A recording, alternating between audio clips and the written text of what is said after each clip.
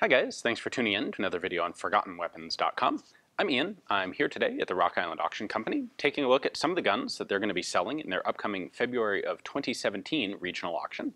And specifically today we're going to take a look at a just kind of an unusual piece of Astra history. This is an Astra Model 700 Special and these were only manufactured in 1926 and 1927, uh, although they took several years after that to actually all sell out. Uh, only 4,000 of these were made. And this was an attempt, a further attempt, one of several, by the Astra Company to maintain some sort of commercial market after World War I had ended. So of course the Ruby pistol was phenomenally popular in World War I, or maybe not popular, but huge numbers of them were made. Uh, both the French and Italian armies adopted versions of the Ruby pistol, and Astra was one of the large manufacturers of them. So after the war, of course, they're all tooled up to make these Ruby pistols, and they want to keep selling them. So they actually renamed the gun the Astra Model 100, and they have a, a similar Astra Model 1000. The 100 is the kind of the Ruby-sized uh, pistol, and then the 1000 is a larger version. It has a 12-round magazine in the grip. It's got an extended length grip. And put those on the market, and, and they sold reasonably well. But there were a lot of competitor pistols out there and one of the popular ones was the Browning model of 1910, or the FN model 1910, which looks kind of like this. Uh, in 26, Astra decided to try and capitalize on the popularity of the FN 1910 by making a version of their own pistol that looked the same and in about halfway operated the same. So this was, I think, largely intended for sale in China, where they, they knew that people were, were not going to be probably highly conversant on exact uh, European firearms manufacturers. And if it looked like an FN, it might sell like an FN.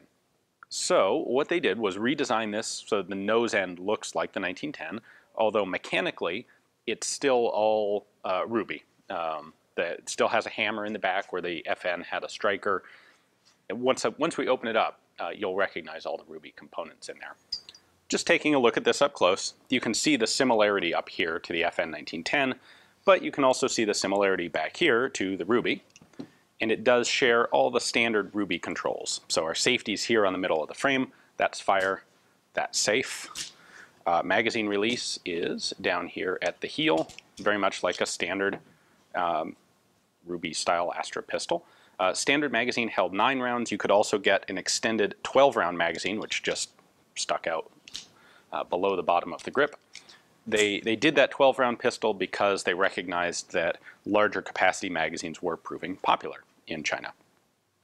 Taking a look at the markings here, on the left side of the slide we have Astra 700 Special Cal 765, which is 32. This is 32 ACP, or in uh, Europe, as it's better known, 7.65 millimeter Browning. We have our Spanish proof marks back here standard uh, set of three proof marks there.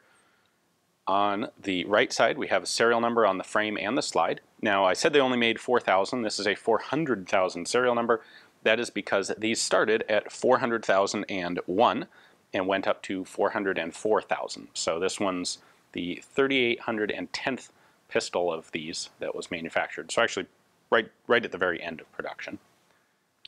And then we also have some standard Astra markings on the barrel there, 765 millimeter, and the word hope. Uh, that hope is an interesting thing. Uh, the actual formal name of this company was Unceta y Esperanza, and Esperanza translates into hope in English, and so they put that on the barrels.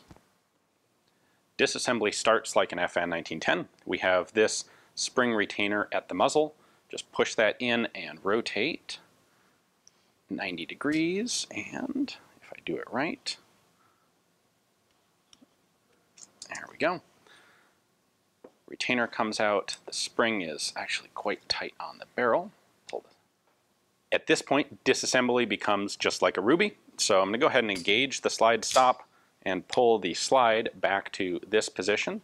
I can then rotate the barrel uh, about 180 degrees and then take the slide stop off and slide this assembly off the front of the gun now we can rotate the barrel the rest of the way and pull it out. Looking in the back of the pistol here, you can see the hammer. It is a concealed or shrouded hammer. And There it is in the fired position.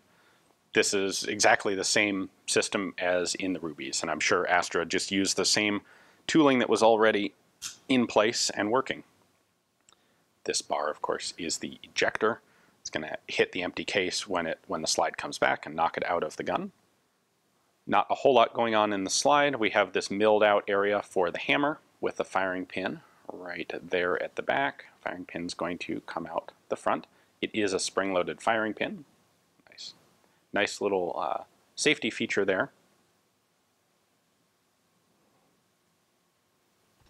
There you have one completely disassembled Astra Model 700 Special. So these didn't turn out to be all that popular in China. Obviously, they only made those 4,000 of them.